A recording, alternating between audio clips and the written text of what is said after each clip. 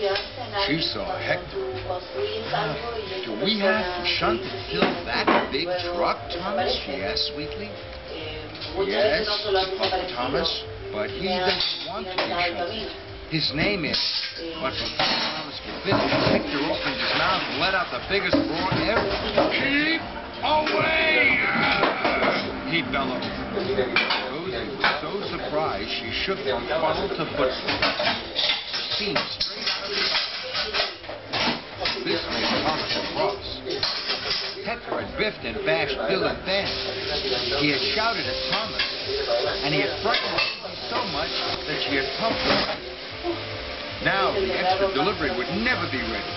Thomas had had enough. He puffed up bravely in front of Hector and gave him a mighty bit. Hector rolled back. He was very cross. Keep away! He roared. No, I won't, shooted Thomas crossly. You are causing confusion and delay. You really are horrid. Then, one mighty bit, Thomas sent Hector rolling backwards into a set of buffers. Hector crashed off the track. Thomas felt very bad. He hadn't meant to knock Hector over. Thomas puffed up to him. Hector lay on his side, looking very sad. Now Hector didn't seem so horrid. I'm sorry I beat you so hard, Moose Thomas, but why don't you want to be shunted?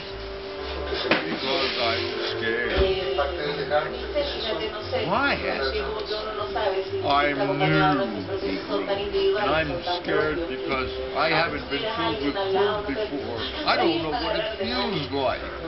That's why I didn't want to be shunted, he added. Thomas was surprised.